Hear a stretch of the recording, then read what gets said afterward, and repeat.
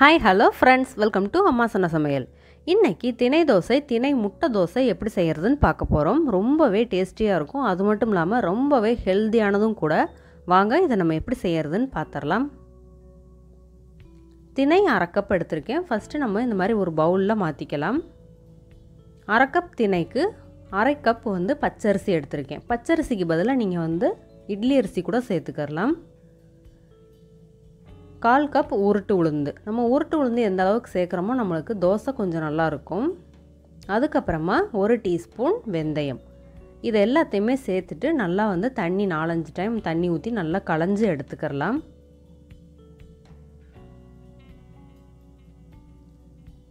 பாருங்கள் எந்த அளவுக்கு நம்மளுக்கு தூசி இருக்குதுன்னு நம்மளுக்கு சிறுதானியத்தில் கொஞ்சம் தூசிலாம் இருக்கும். அதனால் இந்த மாதிரி நாலஞ்சு டைம் நல்லா கழுவி எடுத்துகிட்டு இப்போ ஊற வச்சுக்கிறலாம். ஊற வைக்கிற டைம் வந்து நம்மளுக்கு ஒரு ரெண்டு மணி நேரம் ஊறினா போதும். நல்லா ஊறி வந்துடும் இப்போ நல்லா ரெண்டு மணி நேரம் ஊறியாச்சு. பாருங்கள் எந்தளவுக்கு நல்லா ஊறிடுச்சுன்னு இப்போ இதை தண்ணி இல்லாமல் எடுத்து நம்ம மிக்சி ஜாரில் மாற்றிக்கலாம்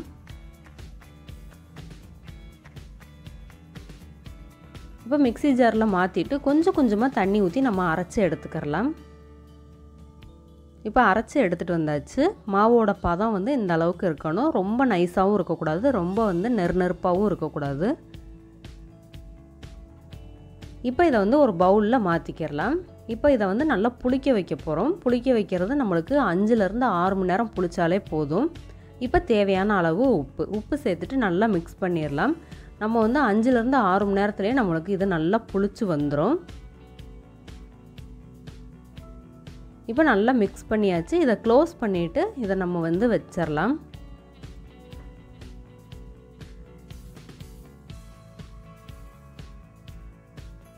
இப்போ இதை அஞ்சுலேருந்து ஆறு மணி நேரம் நல்லா புளிக்க வச்சுட்டு அதுக்கப்புறமா நம்ம இப்போ எடுத்து பார்ப்போம். பாருங்கள் இப்போ நான் ஓப்பன் பண்ணி காமிக்கிறேன். இப்போ மாவு நல்லா புளிச்சு நல்லா உப்பி வந்திருக்கு. இந்த அளவுக்கு இருக்குது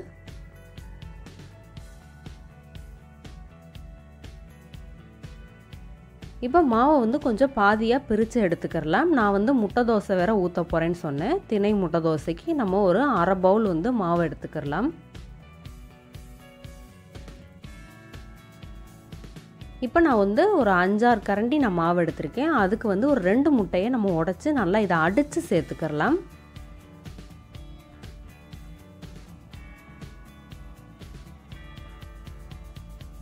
இப்போ இதை இந்த அளவுக்கு நல்லா அடிச்சுட்டு இதை வந்து மாவோடு சேர்த்துட்டு அதுக்கப்புறமா இதுக்கு தேவையான உப்பு எல்லாத்தையுமே நம்ம ஆட் பண்ணிக்கலாம்.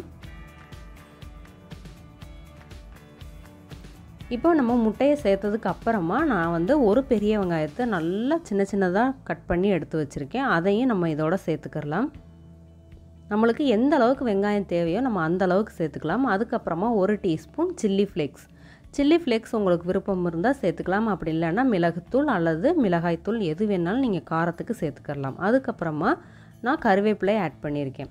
இப்போ தேவையான அளவு உப்பு. ஆல்ரெடி நம்மளுக்கு மாவில் உப்பு இருக்குது இப்போ நம்ம முட்டை வெங்காயம்லாம் சேர்த்துருக்கறனால அதுக்கு தேவையான அளவு மட்டும் நம்ம உப்பு சேர்த்துக்கலாம் சேர்த்துட்டு நல்லா வந்து மிக்ஸ் பண்ணிக்கலாம். நான் வந்து கருவேப்பிலையை ஆட் பண்ணியிருக்கேன். நீங்கள் வந்து கொத்தமல்லி கூட நீங்கள் இருந்துச்சுன்னா சேர்த்து நீங்கள் செஞ்சு பாருங்கள் அதுவும் ஃப்ளேவர் நல்லாவே இருக்கும். சூப்பராக இருக்கும். இது எல்லாத்தையுமே நல்லா நான் மிக்ஸ் பண்ணியாச்சு. இந்த அளவுக்கு இருக்கணும். பாருங்கள் இப்போ நல்லா மிக்ஸ் பண்ணதை நம்ம வந்து இப்போ ஊற்றி எடுத்துடலாம். நான் வந்து ஃபஸ்ட்டு திணை தோசையை நான் ஊற்றி காமிக்கிறேன் உங்களுக்கு.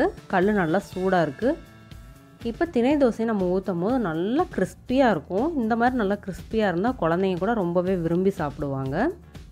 இப்போ சப்போஸ் நீங்கள் கொஞ்சம் சாஃப்டாக வேணும் அப்படின்னு நீங்கள் நினச்சிங்கன்னா அதுக்கு தான் நான் சொன்னேன். பச்சரிசிக்கு பதில் நீங்கள் இட்லி அரிசி கூட ஆட் பண்ணிக்கலாம்னு. இப்போ நான் வந்து நல்லெண்ணெய் சேர்த்துருக்கேன். நல்லெண்ணெய் சேர்த்து நம்ம சிறுதானிய தோசைகளுக்கெலாம் நம்ம சேர்த்து சாப்பிடும் போது ரொம்பவே டேஸ்ட்டு சூப்பராக இருக்கும். இதை இந்த மாதிரி க்ளோஸ் பண்ணி வச்சுட்டு பாருங்கள் இப்போவே நம்மளுக்கு அழகாக கிறிஸ்பியாக நல்லா ஓரங்கள்லாம் எடுத்துகிட்டு வந்துருச்சு. அந்தளவுக்கு கிறிஸ்பியாக வரும். நீங்கள் அதான் சாஃப்டாக இருக்கணும்னு நினச்சிங்கன்னா நீங்கள் இட்லி அரிசி கூட சேர்த்து செய்யுங்க.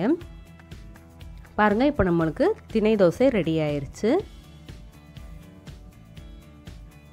இப்போ வந்து திணை முட்டை தோசை எப்படி செய்கிறதுன்னு பார்த்துடலாம் அதே மாதிரி தோசைக்கல் நல்லா சூடாக இருக்கணும். இப்போ வந்து இதை தோசை மாதிரி நம்ம ஊற்ற முடியாது. ஆனால் நம்ம இந்த மாதிரி சின்ன சின்னதாக அடை மாதிரி நம்ம ஊற்றி கொடுக்கலாம். பாருங்கள் இப்போ ஊற்றியாச்சு கொஞ்சமாக ஆயிலும் நம்ம சேர்த்துட்டு இதை வந்து நம்ம ஒரு சைடு வெந்ததுக்கு அப்புறமா இதை திருப்பி போட்டு எடுத்துக்கலாம். ரொம்பவே டேஸ்ட்டு சூப்பராக இருக்கும். குழந்தைங்கள்லாம் வேண்டான்னு சொல்லவே மாட்டாங்கங்க. இதை வந்து நம்ம தினை தோசையில் தான் செஞ்சுருக்கோன்னு கூட அவங்களுக்கு தெரியாது. அந்த அளவுக்கு டேஸ்ட்டு சூப்பராக இருக்கும். பாருங்கள் பார்க்குறதுக்கு எந்த அளவுக்கு சூப்பராக இருக்குதுன்னு. நல்ல சாஃப்டாக இருக்கும். நம்ம ஒரே சமயத்தில் பெரியவங்களுக்கு திணை தோசையும் செஞ்சு கொடுத்துடலாம். குழந்தைங்களுக்கு இந்த மாதிரி திணையில் முட்டையை உடச்சி ஊற்றி இந்த மாதிரி திணை முட்டை தோசையும் செஞ்சு கொடுத்துடலாம். ரொம்ப ரொம்ப டேஸ்டியாகவும் ரொம்ப ஹெல்த்தியான ஒரு பிரேக்ஃபாஸ்ட் நம்மளுக்கு ரெடி ஆயிடுச்சு தேங்க்ஸ் ஃபார் வாட்சிங் தேங்க்யூ